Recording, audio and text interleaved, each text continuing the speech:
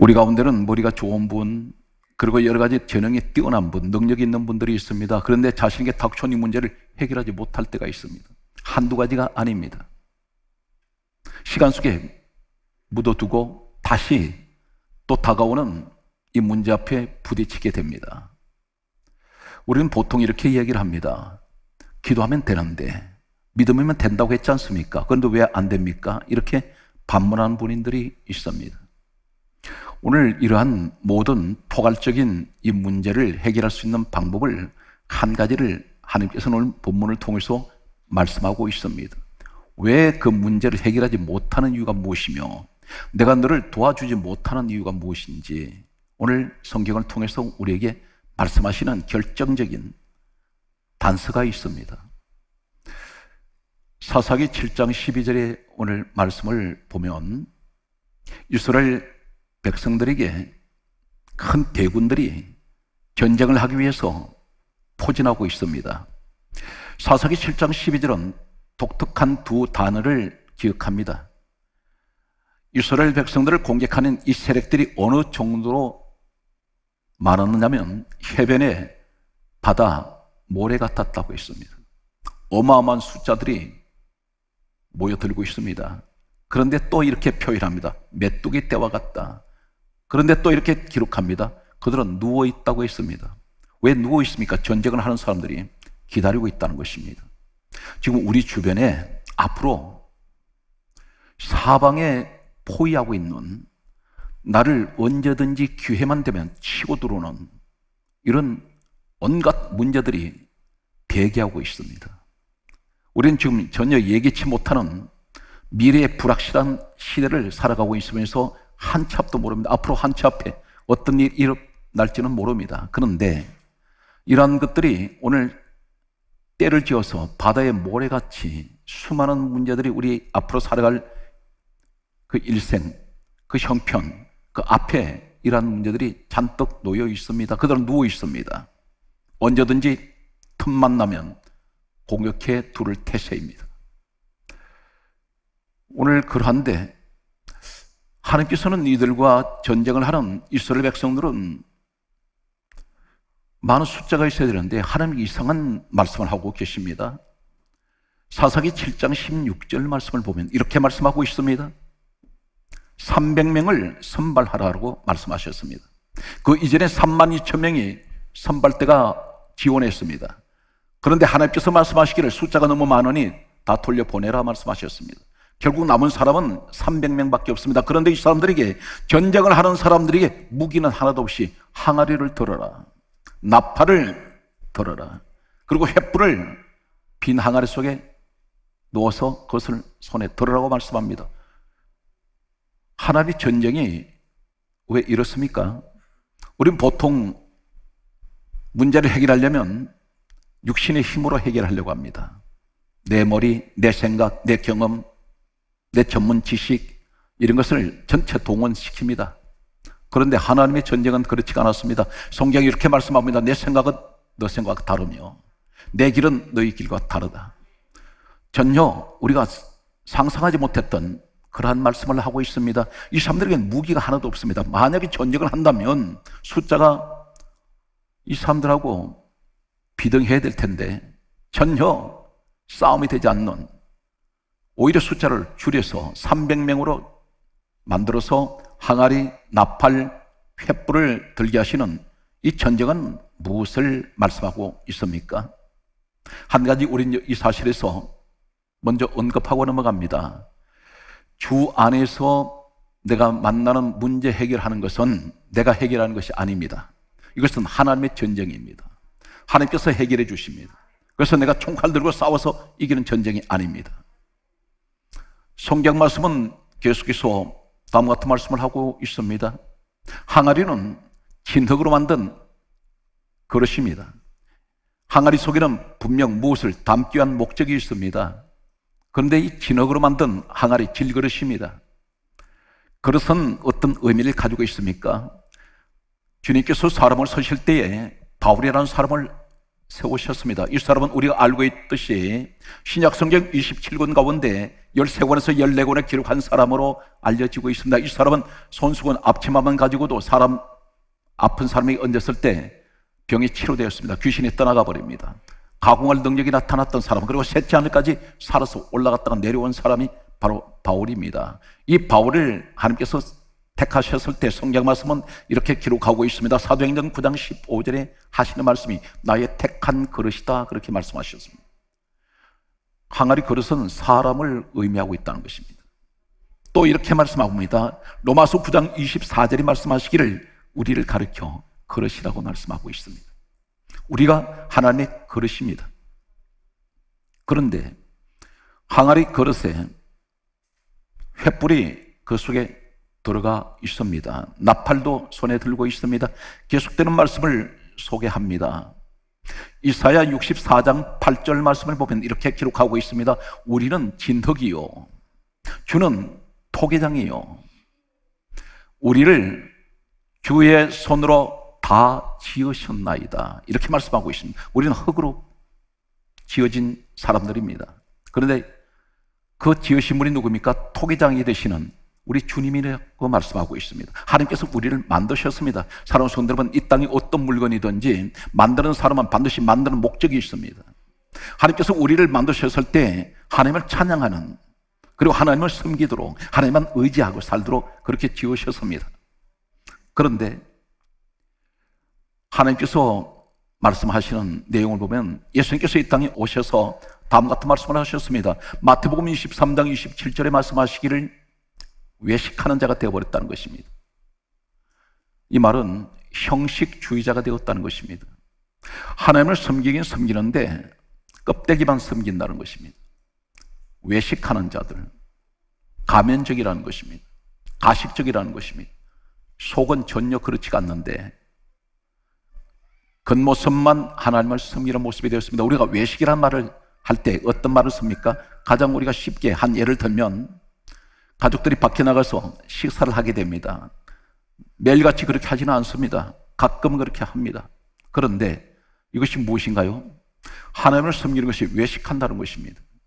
그것은 내가 시간 나면 하나님 예배 드리고 내 기분 따라서 기도도 하고 내가 기분이 나쁘거나 아니면 세상 일 바쁘면 하나님은 뒷전입니다. 이러한 모습으로 신앙생활을 하고 있는데 형식주의자입니다. 그런데 성경 말씀은 이렇게 강조하고 있습니다. 마태복음 23장 27절 말씀에 보게 되면 다음과 같은 말씀을 합니다. 그 안에 더러운 것이 가득하도다. 이렇게 말씀하고 있습니다. 더러운 것이 가득하다 그랬습니다. 가득이는 꽉 차버렸다는 것입니다. 오늘 하나님의 거릇되는 우리를 보고 하시는 말씀이 너 속에는 하나님은 없고 세상 더러운 것이 가득 차 있고 그리고 겉으로만 하나님을 찬양하는 이 모습 외식주의자, 형식주의자 이러한 모습을 말씀하는데 오늘 성경 말씀은 이렇게 기록하고 있습니다. 에르미야 애가 4장 1절 말씀이 오게 되면 하나님께서 이렇게 말씀합니다. 하나님 백성들을 향해서 하시는 말씀이 슬프다. 하나님이 슬퍼하세요. 그러시면서 하시는 말씀이 어찌 금이 빛을 잃어버렸느냐 이렇게 말씀하시면서 순금이 변질되었도다. 순금이 변질되었다는 것입니다. 금이 변질될 수가 있습니까?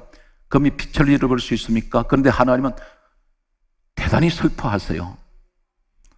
어찌 그리 금이 빛을 잃어버렸고 순금이 변질되었는가? 그렇게 말씀하시면서 계속되는 말씀은 에레미야 애가 4장 1절에 이렇게 말씀하고 있습니다. 성소의 돌들이 각 거리 오기마다 다 쏟아졌다 이렇게 말씀하고 있습니다. 금은 무엇을 말씀합니까? 베드로전서 1장 7절에 믿음을 말씀합니다. 금 같은 믿음, 금은 보배입니다. 내게는 이 믿음이 보배였는데 변질되어 버렸다는 것입니다. 왜 변질되었습니까? 내 속에 세상 것이 가득하게 자리 잡았습니다. 하나님 섬기도록 만드셨던 그 그릇이 다른 것으로 다 담아놓았습니다. 성경은 말씀합니다. 더러운 것이 가득 담겨 있다고 말씀하시면서 그래서 성소의 돌들이 뭡니까? 하나님의 성전에 있어야 할 사람들이 각 거리 어기마다 다 쏟아져 버렸습니다. 다시 말해서 하나님 성전에서 예배하고 기도하고 찬양하는 사람들이 세상에 좋아서 세상으로 다 흩어져서 나가 있습니다. 교회에 있지 않는다는 것입니다. 신앙을 떠나버렸다는 것입니다. 세상이 너무나 좋기 때문에 세상이 많은 것을 유혹을 하고 있습니다. 다 이렇게 흩어져 버렸다는 것입니다. 믿음이 변질돼 버리신 사람들. 계속되는 말씀은 또 이렇게 기록하고 있습니다. 오늘 성경 말씀을 보게 되면 골로새서 3장 5절에서 6절 말씀은 이렇게 말씀합니다. 탐심이 마음에 가득한데 이 탐심을 가리켜 우상이라고 말씀합니다. 너 속에 좀 우상이 자리 잡고 있다는 것입니다. 예수 그리스도께서 하나님이 내 마음에 좌정하셔야 되는데 탐심이라는 것이 내 마음에 자리 잡아서 이것이 네가 섬기는 우상이 되어서 우상 숭배하고 있다는 것입니다. 그러면 사실 말씀이 이것들로 말미암아 하나님의 진노가 임하느니라. 하나님이 진노하신다 있습니다. 내가 이런 것을 가지고 하나님 앞에 나와서 기도를 하면 하나님께서는 오히려 진노의 대상이 그것을 무엇을 내어놓으라고 구할 때 하나님 보실 때 그 기도는 듣지 않습니다. 그렇다면 무엇을 지금 오늘 말씀하고 있을까요? 오늘 성경 말씀은 계속해서 보게 되면 다음 같은 말씀을 하고 있습니다. 고린도 후서 4장 4절에 성경 말씀은 이렇게 말씀합니다. 우리가 이 보배를 질그릇에 가졌다고 했습니다. 이 보배는 예수 그리스도입니다. 정작 하나님 말씀하기를 예수 그리스도가 너 마음속에 계셔야 되는데 그것이 보배인데 너는 세상 엉뚱한 것을 네 속에 가득 채워놔 서리기 같은 것들을 가득 채워놨다는 것입니다. 이 땅을 길게 살아봐야 100년을 넘기지 못하는데 앞으로 몇십 년을 살면 이 땅을 그냥 예고 없이 떠나가야 될 텐데 세상이 미쳐서 세상 것을 가득 담아놓고 탐심 가운데 살아가는 탐욕이 이것이 우상이 되고 있다는 것입니다. 성경 말씀은 계속해서 다음 같은 말씀을 하고 있습니다. 이사야 33장 6절은 우리에게 이렇게 말씀하고 있습니다. 하나님을 경외하는 것이 보배니라. 하나님을 예배하고 경외는 하나님을 예배하고 섬기며 하나님을 찬양합니다. 기도하는 것도 하나님을 경외하는 것입니다. 하나님을 의지하는 것입니다. 그것이 우리에게 보배라는 것입니다. 그런데 정작 이 보배를 잃어버렸다는 것입니다. 성경 말씀은 계속해서 우리에게 다음과 같은 말씀을 하고 있습니다. 오늘 야고보서 3장 14절의 말씀을 보게 되면 좀 충격적인 말씀을 하고 계십니다. 독한 시기가 있고 다툼이 있는 사람이 있다 있습니다. 이 시기와 다툼이 있는 자리에 무엇이 있을까요? 미움이 있습니다. 원망이 있습니다. 불평이 있습니다. 불만이 있습니다. 다툰다 있습니다. 집안이 날마다 분쟁합니다. 다투고 있습니다. 그런데 이 시기와 다툼이 단순하게 사람은 누구나 다 다툴 수 있습니다. 성인군자가 어디 있습니까? 의인은 날에 한 사람도 없습니다. 그런데 대단히 중요한 것이 있습니다. 이 땅을 살면서 화를 안 내고 살아가는 사람이 어디 있습니까? 다 화를 냅니다. 그런데 중요한 것은 절제를 해야 된다는 것입니다. 그러면 성경 말씀은 계속해서 이렇게 말씀하고 있습니다. 이 독한 시기와 분쟁을 할 때에 다툼이 있을 때에 어떤 일이 있습니까? 야고보서 3장 14절에 그렇게 말씀하시면서 야고보서 3장 15절 하신 말씀이 이것이 어디에서 왔는가를 충격적으로 밝히고 있다는 것입니다. 이것은 땅의 것이요. 정욕적인 것이요. 귀신의 것이라 있습니다. 귀신이 주었다는 것입니다. 성령이 주신 것이 아니라는 것입니다. 귀신이라는 존재는 어떤 존재입니까? 사탄, 마귀와 같은 무리들입니다. 같은 악령들의 존재입니다. 각 사람 속에 시기를 집어넣고 분쟁하게 만듭니다. 사람을 불평, 불만을 집어넣습니다. 혈기를 잔뜩 집어넣습니다. 이것이 누구 것이냐면 귀신 것이라는 것입니다. 악한 영이 집어넣었다는 것입니다. 나도 모르는 사이 그것이 내 속에 들어와 버렸습니다. 한 가지 참고로 말씀드립니다. 그럴 리가 있습니까? 오해하지 마시기 바랍니다. 요한복음 13장 2절에 예수님을 온 30에 팔 때에 가룟 유다가 자신의 생업을 팔지 않았습니다. 배후에 어떤 존재가 있다는 것을 기억하십니까? 요한복음 13장 2절을 보게 되면 가론 유다에게 마귀가 예수를 팔려는 생각을 놓았다는 것입니다. 영적 뒤에서 조종하는 자가 누구입니까? 마귀였습니다. 사단 마귀를 가리켜서 성경은 계시록 12장 9절의 말씀을 보게 되면 뱀을 사단 마귀라고 그렇게 말씀하고 있습니다. 뱀의 특징이 무엇인지 아십니까? 탁충류 가운데에서 가장 혈기가 많고 독이 많은 파충류가 뱀입니다. 뱀은 혈기가 가장 많은 파충류로 알려져 있습니다. 이 귀신이 사람 속에 분쟁하도록 집어넣는다는 것입니다. 다투도록 만든다는 것입니다. 혈기를 내도록 만든다는 것입니다. 이것을 우리는 절제를 해야 되는데 성경 말씀은 야고보서 3장 16절에 이렇게 말씀하고 있습니다. 시기와 분정을 하는 곳에는 성경 굉장히 강조합니다. 혼란이 있을 것이며 모든 악한 일이 있을 것이다 했습니다. 매일같이 악한 일만 생깁니다. 분쟁하는 가정에는 잠시도 평안이 없습니다. 늘 사람들에게 상처를 주고받습니다. 이것이 누가 원합니까? 사탄마귀는 목적이 하나 있습니다. 깨는 것입니다. 불행하게 만드는 것입니다. 가진 것 뺏어가 버립니다. 오늘 이러한 모습 속에서 우리의 모습을 보면서 성경 이렇게 강조합니다. 히브리서 3장 8절에 말씀하시기를 그러므로 우리에게 하시는 말씀은 완고하지 마라 그렇게 말씀합니다. 이 완고가 뭡니까? 혈기 내지 말고 그리고 다투지 말라. 교만하지 말라. 마음을 강팍하게 하지 말라는 것입니다. 우리는 이런 것들이 들어오면 가장 지혜로운 것은 자리를 피해야 됩니다. 상대가 없으면 다투질 않습니다. 그런 가장 지혜로운 방법입니다. 오늘 성경에서 이 항아리 이야기를 하면서 왜 이 말씀을 하게 될까요? 그런데 어떻게 해서 이 전쟁에서 이겼을까요? 하나님께서 원하시는 건 우리한테 다른 것을 원하지 않습니다. 네가 싸워서 이기기를 원하지 않습니다. 그 싸움은 내가 책임질 테니 너는 내가 시킨 대로 해라. 그것이 무엇입니까? 오늘 성경 말씀은 가장 결정적인 단서를 우리에게 말씀하고 있습니다. 사사기 7장 20절에 항아리를 부숴버립니다. 누가 부숩니까? 누가 깨버립니까? 본인이 깹니다. 분명 그것은 우리라고 했습니다.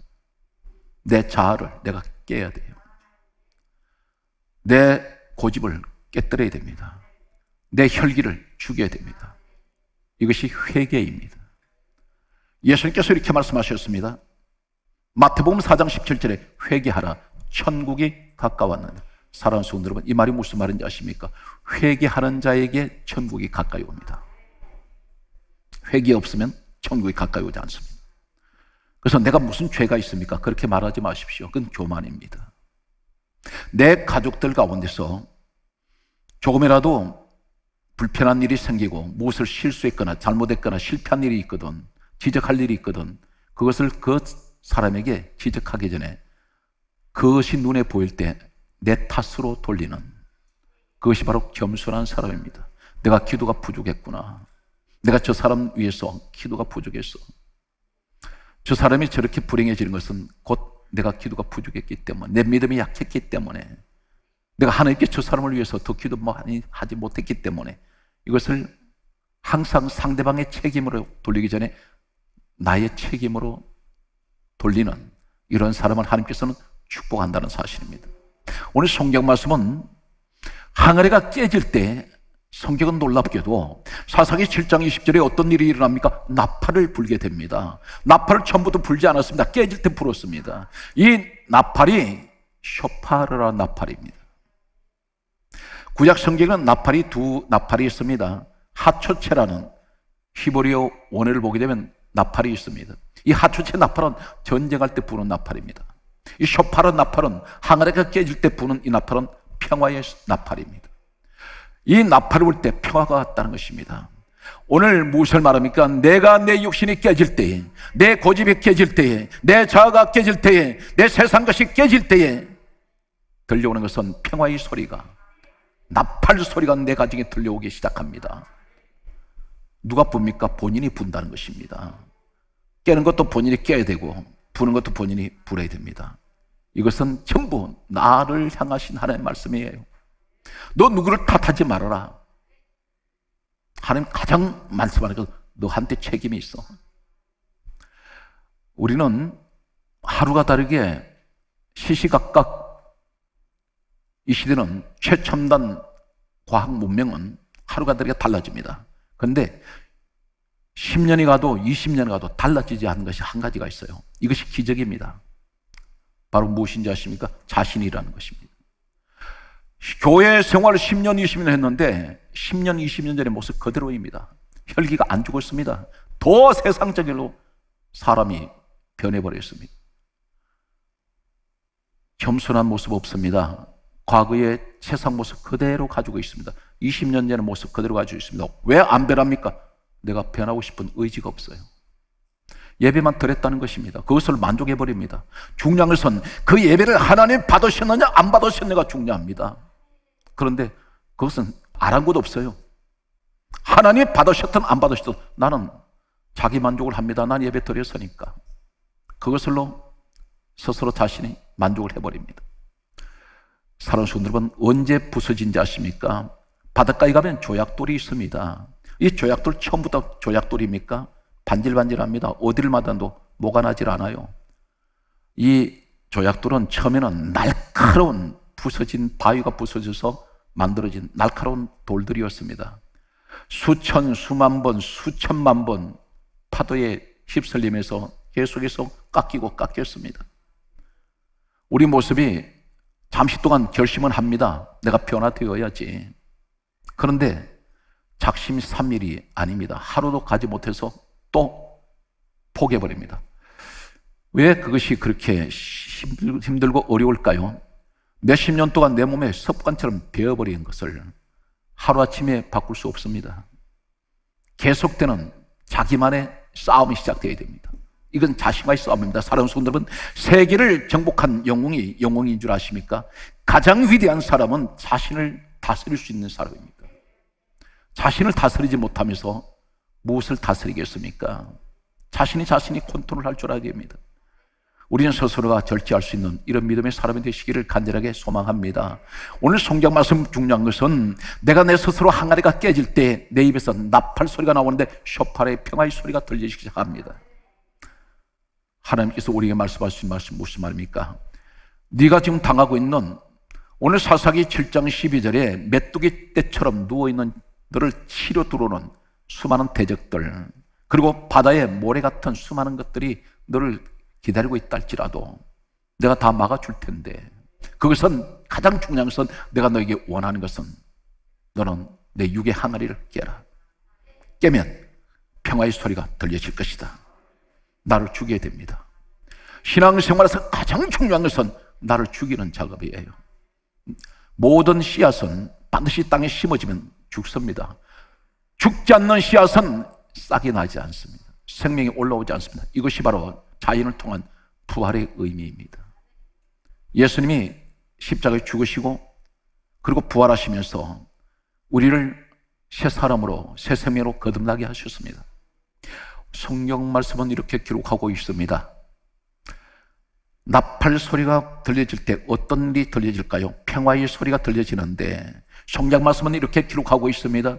요수와 6장 20절 말씀을 보게 되면 요소가 이끄는 이스라엘 백성들이 여리고성을 돕니다. 7일 동안 돌았습니다. 일곱 번 마지막 날 돌고 하나님 말씀입니다. 나팔을 불어라. 그 나팔이 무슨 나팔입니까? 쇼파라였습니다. 이 나팔 불 때에 여리고 성벽이 그대로 무너져 버립니다. 이 사람들은 총칼 들고 싸운 적 없습니다. 우리에게는 여리고 어떤 것입니까? 질병의 여리고가 있습니까? 가난의 여리고가 있습니까? 아니면 사람 관계에서 이 장벽들이 있나요? 그것을 혼자 고민할 필요가 없습니다. 내가 주님 앞에 무릎을 꿇는 것은 나 죽이는 자리입니다. 내가 무릎 꿇는 것은 주님께 내 문제를 맡기는 것입니다. 내 인생을 주님께 던지는 것입니다. 그때 쇼파의 나팔 소리가 들릴 때 내게 예리고 같은 문제는 무너지더라는 것입니다. 그대로 와르르 다 무너져 버립니다. 성경 말씀을 보게 되면 레위기서 25장 9절에서 10절 말씀을 보게 되면 50년 만에 돌아오는 희년이 있습니다. 희년이 되면 이 쇼파르 나팔을 붑니다. 불 때에 어떤 일이 생깁니까? 성경 강조합니다. 자유를 공포하라. 그렇게 말씀합니다. 자유가 선포됩니다. 자유가 선포될 때 감옥에 갇혀있던 죄수들이 풀어져 버리고 빚쟁이들에게 빛에 찌들려 있던 사람들이 탕감이 돼버립니다. 포로는 돌아갑니다. 모든 것이 다 풀어집니다. 여러분 가정에 이 평화의 나팔 소리가 울려지는 여러분 가정이 되십시오. 그러고 계시는 어떻게 됩니까? 서로 서로 나를 주게 된다는 것입니다. 성경 말씀은 계속해서 이렇게 말씀하고 있습니다. 누가복음 2장 14절의 말씀을 보게 되면 예수님께서 이 땅에 오셨을 때에 하늘의 천군 천사가 이렇게 노래합니다. 지극히 높은 곳에서는 하나님께 영광이요. 땅에서는 하나님께서 기뻐하시는 사람들 중에 평화로다. 예수님께서 오셨을 때 평화가 주어집니다. 사랑하는 성도 여러분, 이 쇼파의 나팔 소리가 바로 평화라는 것입니다. 이 나팔이 어떤 나팔인지 아십니까? 뿔나팔입니다. 이 뿔나팔이 어디서 나왔습니까? 한 희생제물이 죽고 그 몸에서 나온 것입니다. 그것을 뿔을 뽑아낼 때에 거기는 피로 범벅이 되어 있습니다. 다시 말해서 피의 소리입니다. 이 희생제물이 바로 우리 주 예수 그리스도를 말씀합니다. 우리에게 무엇을 주시려고요? 평화를 주시려고. 오늘 여러분 가정에 이 평화의 소리가 울려 퍼지는 여러분 가정이 되시길 바랍니다. 세 번째, 항아리가 깨질 때 어떤 일이 납니까? 항아리 속에 들어있던 횃불이 캄캄한 칠흑 같은 어두운 밤에 이 항아리가 깨질 때 대낮같이 밝아져 버립니다. 우리에게 말씀합니다. 너 자신이 깨지면 그 어둡고 캄캄한 암흑 같은 가정이 대낮같이 밝아지는 빛의 자리로 바꿔질 것이라는 것입니다. 오늘 이 빛이 바로 누구인가요? 요한복음 8장 12절에 말씀합니다. 예수님께서 말씀하시기를 내가 세상의 빛이니 나를 따르는 자는 어둠에 따르지 아니하고 생명의 빛을 얻으리라 했으면 사랑하는 성도는 가장 중요한 오늘 말씀의 핵심은 항아리입니다. 내가 부서져 버려야 됩니다. 나를 드러내지 마십시오. 나를 앞세우지 마십시오. 주님을 앞세우세요. 주님만 의지해 보세요. 반드시 기적은 일어납니다. 오늘 범사위의 여러분 가정에 오늘 평화의 소리가 울려 퍼지는 이 축복의 시간이 되시기를 주의 이름으로 축원합니다.